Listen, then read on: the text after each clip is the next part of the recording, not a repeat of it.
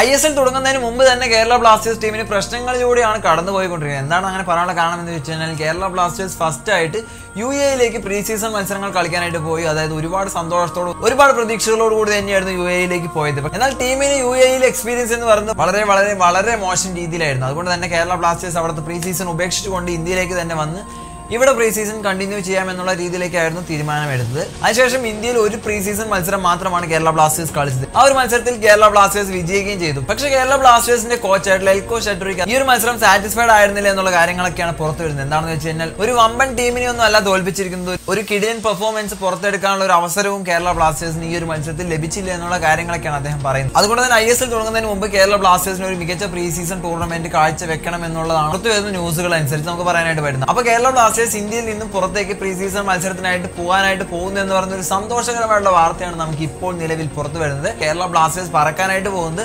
തുർക്കിയിലേക്കാണ് എന്നുള്ള ന്യൂസ് കൂടെയാണ് വരുന്നത്. തുർക്കിയിലെ ലോക്കൽ ടീമുകളുമായിട്ടായിരിക്കും കളിക്കുന്നതെങ്കിൽ കൂടെ തുർക്കി എന്ന് പറയുന്ന ഈ ഒരു ഫോറിൻ കൺട്രിയിൽ വെച്ചിട്ട് കേരള ബ്ലാസ്റ്റേഴ്സിന് ഒരു മികച്ച എക്സ്പീരിയൻസ് തന്നെ ലഭിക്കും എന്നുള്ളത് യാതൊരു സംശയമില്ല അപ്പോൾ അവിടെ പോയിട്ട് ഒരു പ്രീ സീസൺ ടൂർണമെന്റ് ആണ് കണ്ടക്ട് ചെയ്യുന്നതെങ്കിൽ അവരുടെ ടാക്ടിക്സും മറ്റു കാര്യങ്ങളും ഒന്നും വെളിയിലേക്ക് വരില്ല. റിസൾട്ട് മാത്രം പുറത്തു കൊണ്ടുവരിക. അതുപോലെ തന്നെ മികച്ച ഒരു പെർഫോമൻസ് കാഴ്ചവെക്കുക. അവിടെയുള്ള ടീമുകളുമായിട്ട് ഏറ്റുമുട്ടിക്കൊണ്ട് വിജയിച്ചു വരിക എന്നുള്ള കാര്യങ്ങളൊക്കെയാണ് നമുക്ക് ഇവിടെ ലഭിക്കുന്നത്. അപ്പോൾ കേരള ബ്ലാസ്റ്റേഴ്സ് ഈ ഒരു മാസം അവസാനത്തോട് കൂടെ തുർക്കിയിലേക്ക് പറക്കാൻ പ്ലാൻ ഇടുന്നുണ്ട്.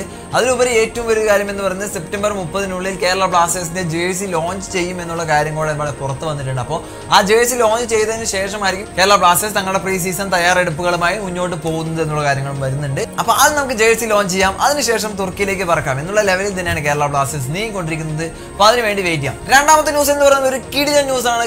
കിടിലൻ കിടിലൻ ന്യൂസ് ആണ്. ഈ ഒരു ന്യൂസുമായിട്ട് രണ്ട് അഭിപ്രായങ്ങൾ തീർച്ചയായിട്ടും വരാനുള്ള ചാൻസ് ഉണ്ട്. കാരണം ഫാൻസിന്റെ ഇടയിൽ തന്നെ കുറച്ച് പ്രശ്നങ്ങൾ വരാനുള്ള ചാൻസ് ഉണ്ട്. എന്താണെന്ന് വെച്ച് കഴിഞ്ഞാൽ കേരള ബ്ലാസ്റ്റേഴ്സ് സ്വന്തമായിട്ട് ഒരു ഹോം സ്റ്റേഡിയം നിർമ്മിക്കാനായിട്ട് പോവുകയാണ്. അത് കണ്ണൂരിലാണ് നിർമ്മിക്കാനായിട്ട് പോകുന്നത് എന്നുള്ള വിവരങ്ങളാണ് നിലവിൽ ഇപ്പോൾ പുറത്തു വരുന്നത്. എന്തുകൊണ്ടാണ് ഫാൻസിനിടയിൽ ഈ ഒരു കാര്യം പ്രശ്നം ഉണ്ടാക്കുമെന്നുള്ള കാര്യം പറയാനുള്ള കാരണം എന്ന് വെച്ച് കഴിഞ്ഞാൽ ആ കാരണം എന്താണ് നമുക്ക് ലാസ്റ്റ് പറയാം. സോ ഫസ്റ്റ്ലി കണ്ണൂരിലാണ് കേരള ബ്ലാസ്റ്റേഴ്സ് സ്വന്തമായിട്ട് ഒരു സ്റ്റേഡിയം നിർമ്മിക്കാനായിട്ട് പോകുന്നത്. കണ്ണൂരിലെ വിമാനത്താവളത്തിനടുത്ത് ഏക്കർ കണക്കിന് ഭൂമി കിടപ്പുണ്ട്. അപ്പൊ അവിടെ കേരള ബ്ലാസ്റ്റേഴ്സ് തങ്ങളുടെ സ്വന്തമായിട്ട് ഒരു സ്റ്റേഡിയം നിർമ്മിക്കാനാണ് പ്ലാൻ ഇടുന്നത്. പക്ഷെ അതിന് ഡിസ്കഷനും കാര്യങ്ങളൊക്കെ നടക്കുന്നുണ്ട്. അതുപോലെ തന്നെ കേരള ബ്ലാസ്റ്റേഴ്സ് ടീം സ്വന്തമായിട്ട് തന്നെ ആ സ്റ്റേഡിയം നിർമ്മിക്കാനുള്ള പ്ലാൻ ഇടുന്നുണ്ട്. അതുപോലെ തന്നെ ഈ ഒരു സംഭവവുമായി ബന്ധപ്പെട്ട് മുഖ്യമന്ത്രിയുമായിട്ട് ചർച്ചകൾ ഉടൻ തന്നെ നടക്കും എന്നുള്ള വിവരങ്ങളൊക്കെയാണ് ഇപ്പോൾ പുറത്തു വരുന്നത്. സോ ഇങ്ങനെ ഒരു സ്റ്റേഡിയം വരികയാണെങ്കിൽ മലബാറിലെ ഫുട്ബോൾ ആരാധകർക്ക് അത് വലിയ ട്രീറ്റ് തന്നെയായിരിക്കും. കാരണം മലബാർ സൈഡിലാണ് ഏറ്റവും കൂടുതൽ ഫുട്ബോൾ ആരാധകർ ഉള്ളത്. അവർക്ക് കൊച്ചിയിൽ വരുന്ന കളി കാണുന്ന ആ ഒരു കോസ്റ്റ് ഡിക്രീസ് ചെയ്യാനും ഒരുപാട് കളികൾ കാണാനും അതുപോലെ തന്നെ നല്ല രീതിയിൽ സപ്പോർട്ട് ചെയ്യാനും ഒക്കെ സാധിക്കുന്ന ഒരു ഓപ്പർച്യൂണിറ്റിയാണ് കണ്ണൂരിൽ ഇങ്ങനെ ഒരു സ്റ്റേഡിയം വരികയാണെങ്കിൽ സാധിക്കാനായിട്ട് പോകുന്നത്. ഇനി നമ്മൾ ആദ്യം പറഞ്ഞ കാര്യത്തിലേക്ക് വരാം. അതായത് കേരള ബ്ലാസ്റ്റേഴ്സ് ആരാധകർക്കിടയിൽ തന്നെ ഇതൊരു പ്രശ്നം ഉണ്ടാക്കുമെന്നുള്ള കാര്യം പറയാനുള്ളത് എന്താണെന്ന് വെച്ച് കഴിഞ്ഞാൽ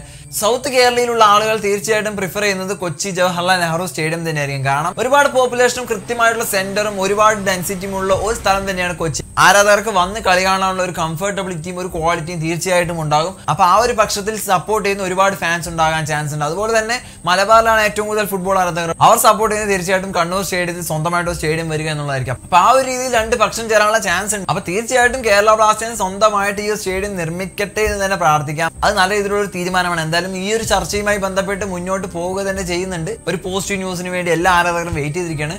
ഈ ഒരു സംഭവവുമായി ബന്ധപ്പെട്ട് നിങ്ങളുടെ അഭിപ്രായം തീർച്ചയായിട്ടും താഴെ കമന്റ് ചെയ്യാൻ മറക്കരുത്. അപ്പൊ നിങ്ങൾക്ക് ഈ വീഡിയോ ഇഷ്ടപ്പെട്ടായിരുന്നു വീഡിയോ വീഡിയോ ലൈക്ക് ചെയ്യാനും ഷെയർ ചെയ്യാനും സബ്സ്ക്രൈബ് ചെയ്യാനും മറക്കരുത്.